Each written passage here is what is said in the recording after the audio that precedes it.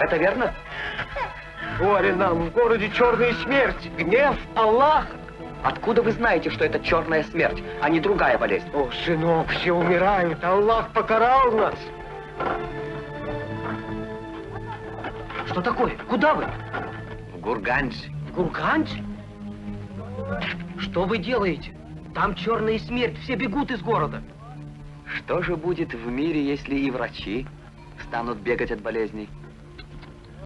А что мне делать? Я хочу идти с вами, но не хочу умирать. Поезжайте домой. Эх, недолго пришлось мне быть вашим учеником. Воскочтимый,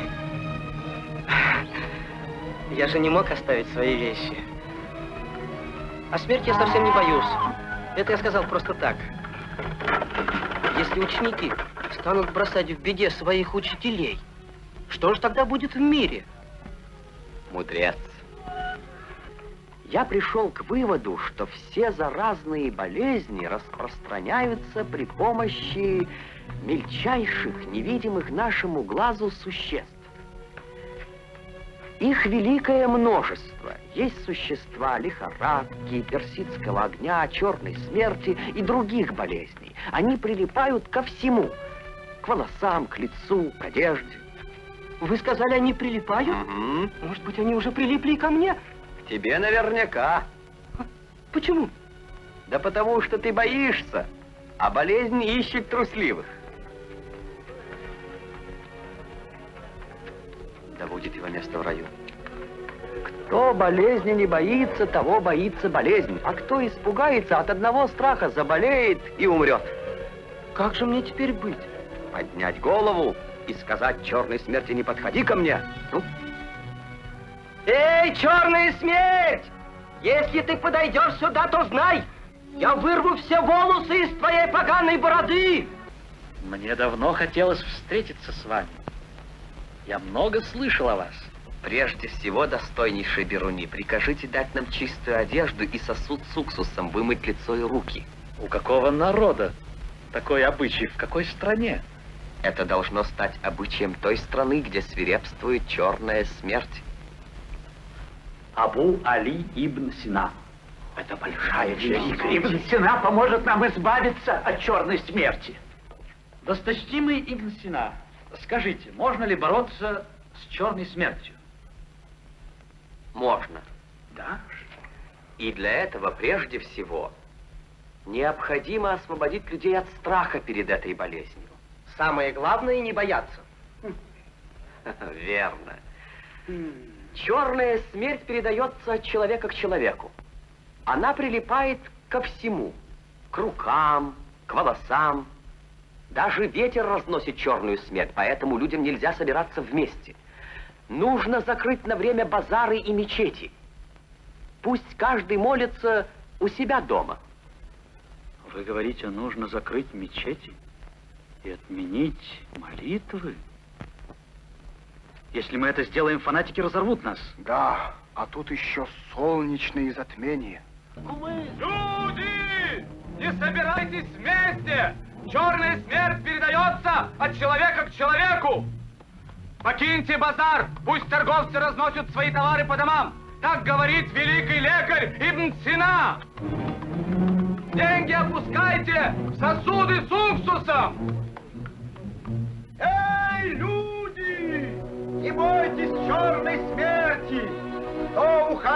За больным, пусть смочит вату в уксусе и заткнет себя этой ватою нос, а во рту пусть держит листья полыни. Сидите дома! Слушайте! От одного больного заражаются сто здоровых! Уходите из мечети! Расходитесь! Пусть каждый молится у себя дома, если не хочет заболеть. Так сказал великий Ибн Сина. Расходитесь, правоверные! Расходитесь! Прочь отсюда! Замолчи, собака!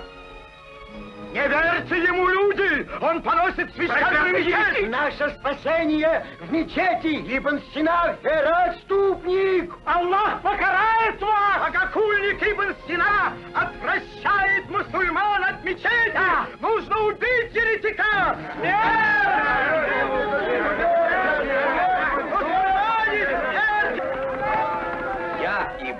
Дайте его! Смерть ему! Правоверные, смерть Ибн Сине! Из-за таких нечестивцев Аллах послал на нас черную смерть! Хватайте его! Подстрекая людей к убийству, вы совершаете большой грех. Слушайте, люди! Правоверные, я такой же мусульманин, как и вы. Я верю в Аллаха и в науку. Наука служит человеку, и она поможет нам победить черную смерть. Наука никогда не лжет. Обманщик! Мы не верим тебе! Не верим! Ну что ж, сейчас поверите. Смотрите на эти часы. Когда весь песок окажется внизу, в ту же секунду начнется полное затмение Солнца. Так предсказывает наука, и так оно и будет. А если не будет затмения, что тогда? Мусульмане, если мой друг Ибн Сина ошибся, я отвечу вместе с ним.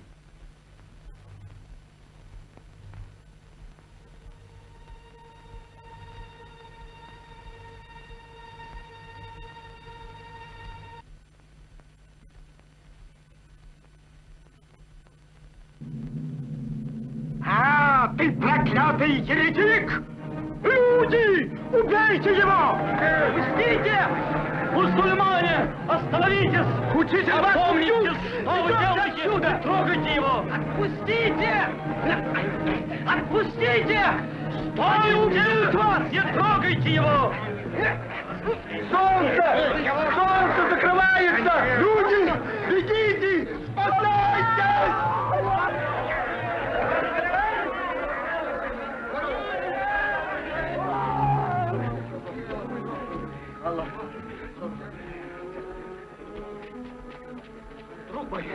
Вы живы?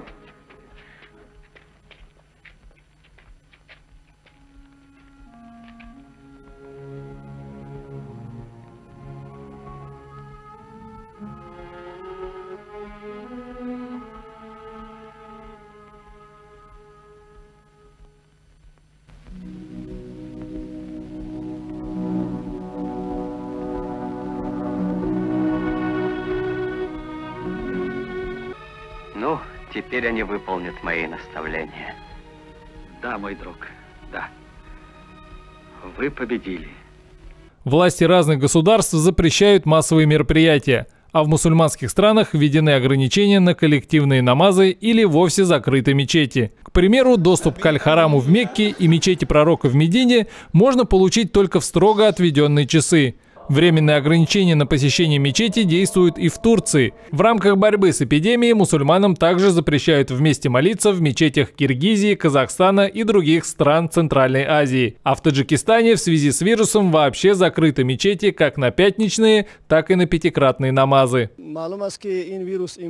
Как известно, коронавирус обнаружен более чем в 70 странах. И хотя у нас таких случаев не зафиксировано, Совет Улемов принял решение обратиться к жителям страны с тем, чтобы они временно не шли молиться в мечети. А это опустевшие улицы Кувейта. Здесь из-за коронавируса не только не совершают коллективные намазы, но и ради безопасности изменили традиционный многовековой азан.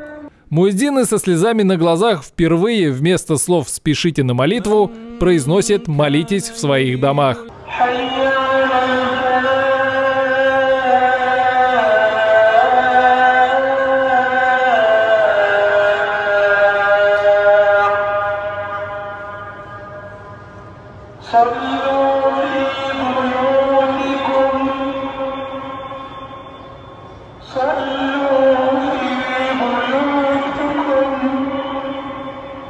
Для того, чтобы контролировать распространение заразных болезней, необходимо соблюдать основные меры. Тщательное мытье рук, прикрывание рта во время кашля и чихания, надлежащее уничтожение использованных салфеток, пребывание дома подальше от общественных мест, а в экстренных ситуациях – карантин. Ислам стремится создать здоровое общество верующих. Ислам заботится как о духовном, так и физическом, экономическом, эмоциональном благополучии людей и общин.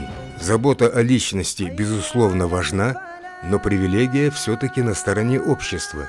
Более 1400 лет тому назад пророк Мухаммад, да благословит его Аллах и да приветствует, обучил своих последователей правилам гигиены, актуальным и в 21 столетии. В сунне пророка Мухаммада, мир ему и благословение Аллаха, мы видим ясный запрет чихать, не прикрывая рот. Это помогает предотвратить распространение бактерий, переносимых по воздуху, то есть воздушно-капельным путем. Воистину, Аллах любит кающихся и любит очищающихся. Смысл. Коран, сура 2, аят 222. В сунне пророка чистота называется половиной религии. Отсюда ясна важная роль содержания тела в чистоте и опрятности. Интимные части омываются после каждого посещения туалета. Мусульмане уделяют особое внимание чистоте перед молитвой. Они моют руки, лицо, прополаскивают рот и нос, моют стопы пять раз в день. Пророк Мухаммад, мир ему и благословение Аллаха, побуждал мыть руки перед молитвой, до и после еды и кушать только правой рукой. Дорогие зрители, более 14 веков назад было известно, как вести себя при эпидемии вируса, а сегодня ученые подтверждают, что слова пророка, да благословит его Аллах и да приветствует, это истина. Мы надеемся, что информация поможет снижению вируса, а для этого вы поделитесь ею с близкими и друзьями. Мир, милость и благословение Всевышнего всем нам. Все в мире покроется пылью забвения. Лишь двое не знают ни смерти, ни тления. Лишь дело героя, да речь мудреца Столетия пройдут, не изведав конца. И солнце, и бури все выдержат смело. Высокое слово — и доброе дело.